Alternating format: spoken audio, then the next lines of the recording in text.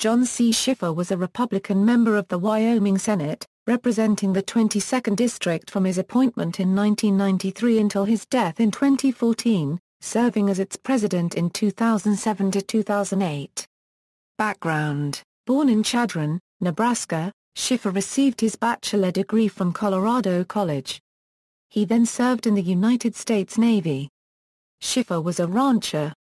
Death Schiffer died in June 2014, less than a month after being diagnosed with liver cancer.